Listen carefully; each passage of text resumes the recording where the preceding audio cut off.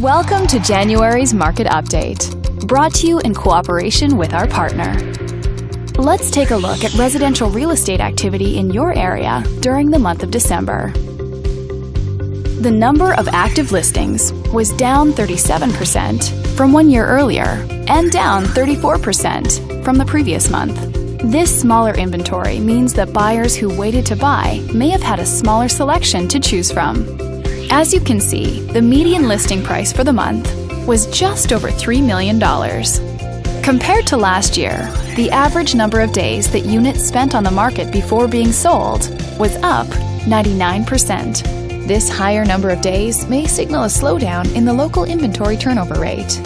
The median sale price was over $4 million. The number of units sold decreased 40% year over year and increased 50% month over month.